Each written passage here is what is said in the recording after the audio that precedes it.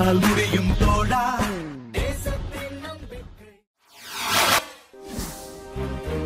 Karate கலையின் இறுதி நிலையான பிளாக் பெல்ட் கிரேடிங் வழங்கும் விழா கோவையில் நடைபெற்றது. இதில் மாணவ மாணவிகள் உட்பட தமிழகத்தின் பல்வேறு பகுதிகளில் இருந்து நூற்றுக்கும் மேற்பட்டோர் கலந்து கொண்டனர். சாய் கைதோ கராத்தே சங்கம் சார்பாக கராத்தே வீரர்களுக்கான முதல்நிலை அங்கீகாரத்துக்குரிய கருப்பு பெல்ட் வழங்கும் விழா கோவை சிங்காநல்லூர் பகுதியில் உள்ள ஜெயேந்திர சரஸ்வதி கல்லூரியில் நடைபெற்றது.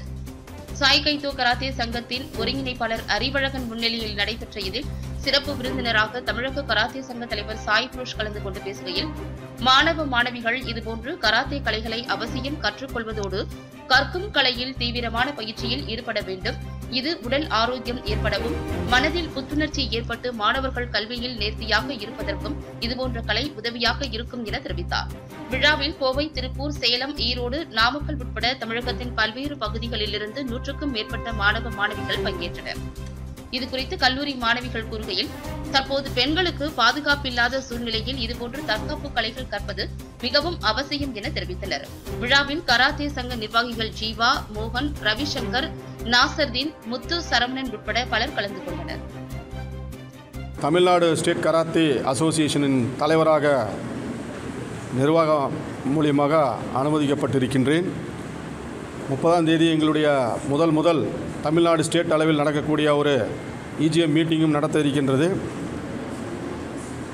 முக்கியமாக பல போராட்டங்கள் மத்தியில் என்னுடைய எண்ணத்தை பிரதிபலிக்க வாய்ப்பு எனக்கு நெருங்கி கொண்டிருக்கின்றது. என்னவென்றால் என்னுடைய எண்ணம் தமிழக மக்களில் மாணவர்கள் நம்முடைய மாணவர்கள் அகில இந்திய அளவில் முன்மாதிரியாகவும் முதன்மையாகவும் இருக்க வேண்டும் என்ற என்னுடைய உழைப்பையும் என்னுடைய நம்பிக்கையும் நான் இன்னும் விடாமல் கா பிடிவாதமாக செய்து கொண்டு தான் இருக்கின்றேன்.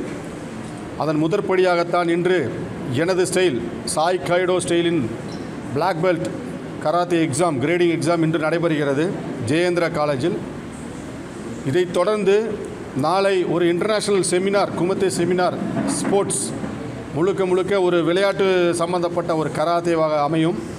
அதில் இன்டர்நேஷ்னல் அளவில் டபிள்யூகேஃபில் பல முறை கலந்து கொண்டு பல ரவுண்டுகள் வெற்றி அடைந்த நமது அகில இந்திய மாணவர்கள் திரு விக்கி யாதவ் பிரணய் சர்மா சுதீர் ஆகியோர் மூன்று மூவரும் கலந்து கொண்டு நமது கோவை மாநகரில் கலந்து கொள்ளக்கூடிய மாணவர்களுக்கு பயிற்சி அளிக்கிறார்கள்.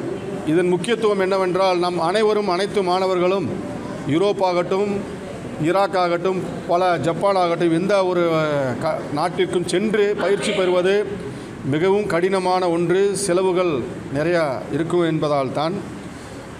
நாம் அங்கே கலந்து கொண்டு அந்த பயிற்சி முறையை கற்று தேர்ந்த சில பயிற்சியாளர்களை வைத்து இங்கு நாம் பயிற்சி அளிக்க இருக்கின்றோம்.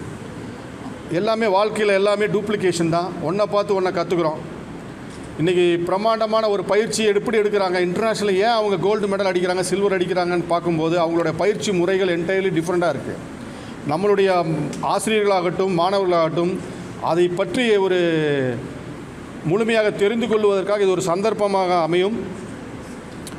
முன் உதாரணமாக இப்போ நட மத்தியில் இன்னைக்கு எந்த அளவுக்கு இது பொதுமக்கள் மத்தியில் கொஞ்சம் அவேர்னஸ் வரணும். பெண்கள் மத்தியிலையும் ஒரு அவேர்னஸ் வரணும். நிச்சயமாக ஒவ்வொரு கல்லூரியிலும் இருக்கக்கூடிய தலைவராகட்டும் வைஸ் சான்சலர் ஆகட்டும் எங்களுடைய மாணவிகளுக்கு ஒரு கராத்தேவை நிச்சயமாக கற்றுத்தர வேண்டும் என்ற ஒரு எண்ணங்கள் இன்று தோன்ற ஆரம்பித்து விட்டது. ஸ்கூல் கேம்லேயே முதல்ல கராத்தே கிடையாது.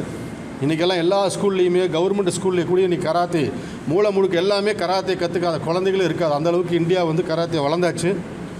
இப்பொழுது கல்லூரியில் அளவில் கராத்தே வளர்ந்து கொண்டிருக்கிறது. உதாரணம் universe national university game championship வந்து நம்ம சத்யபாமா யூனிவர்சிட்டியில் சென்னையில் தான் நடக்குது. இந்த கராத்தே கேமோட நேஷ்னல் சாம்பியன்ஷிப் சத்யபாமா காலேஜ் க- கல்லூரியில் நடக்குது.